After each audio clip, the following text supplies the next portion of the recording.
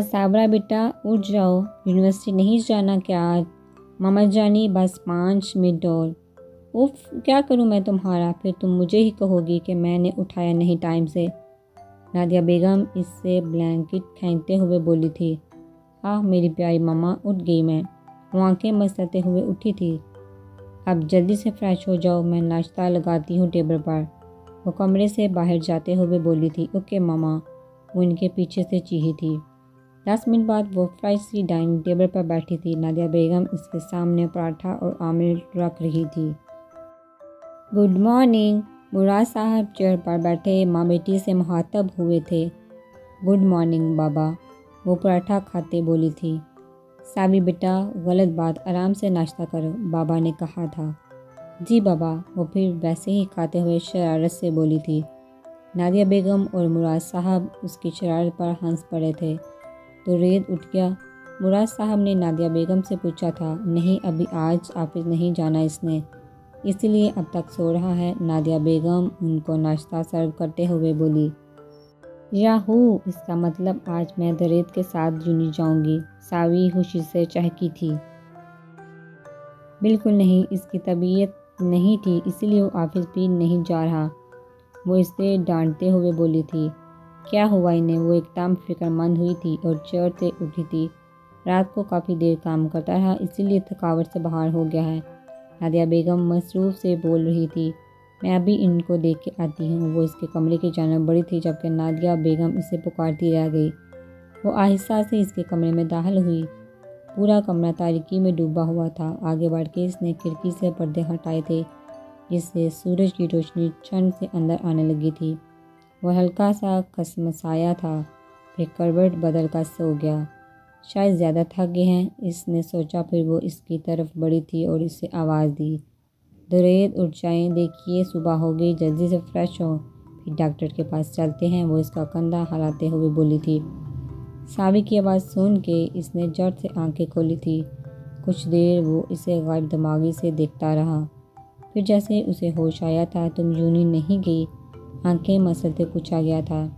जाने लगी थी फिर मामा ने बताया आपकी तबीयत नहीं ठीक। इतना काम क्यों करते हैं आप? अपनी सेहत का भी ध्यान नहीं रखते। वो फिक्रमंदी से बोलते हुए आप डांटने लगी थी, तुम जो हो मेरा ध्यान रखने के लिए, वो जेर लब मुस्कुराया था। मैं तो हूँ, मगर जब मैं नहीं होती तब तो रखा करें वह हल्की से बोली थी। अच्छा बाबा, ठीक है, आइंदा आपको शिकायत का मौका नहीं मिलेगा, ओके?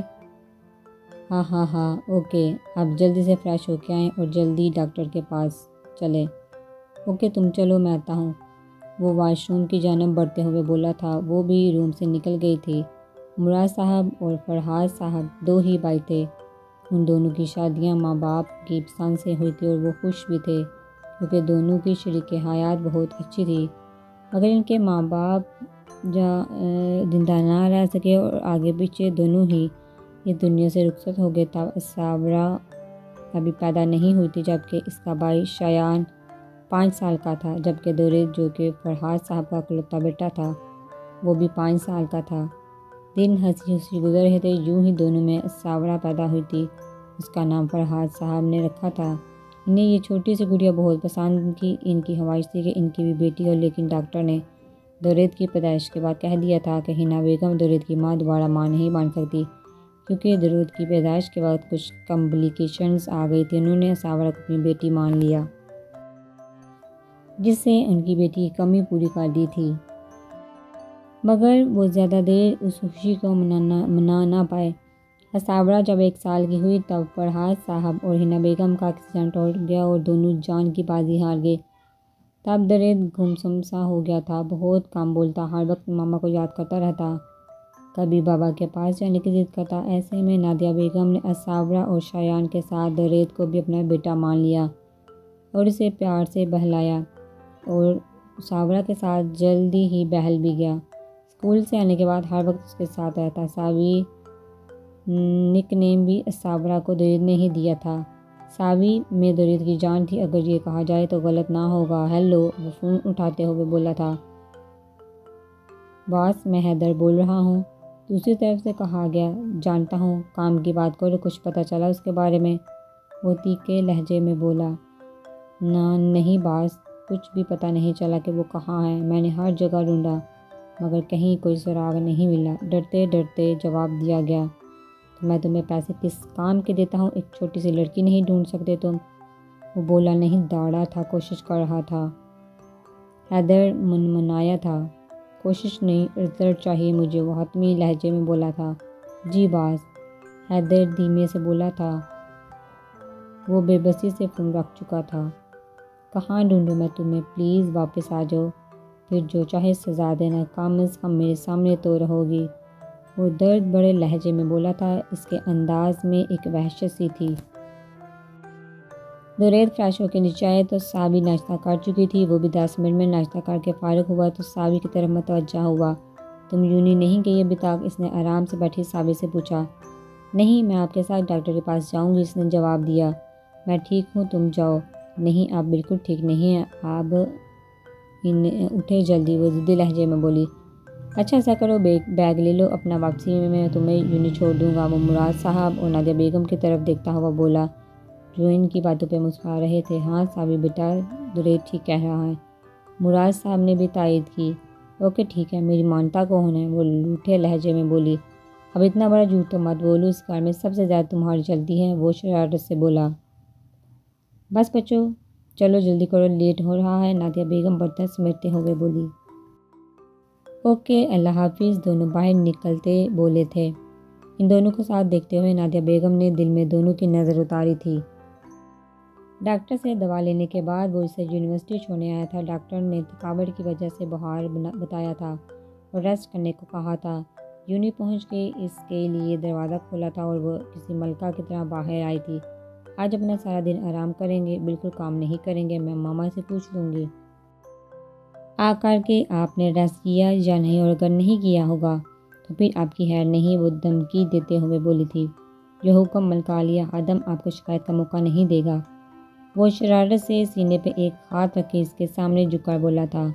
वो सारे पीछे फेंक के खिलखिला के हँसी थी और वो इसकी इस अदा पे फिदा हुआ था। ओके, अब जाओ और ध्यान से पढ़ना, कोई मसला हो तो फ़ौर मुझे बताना, ओके? ओके बास, वो मुस्कुराई थी। अल्लाह हाफिज़, वो गाड़ी की तरफ़ मुड़ा था। और वो इसकी पुष्ट की तरफ़ देखती, इस इंसान को खुदा के अमान में दे रही थी, जिसमें इसकी जान बसती थी।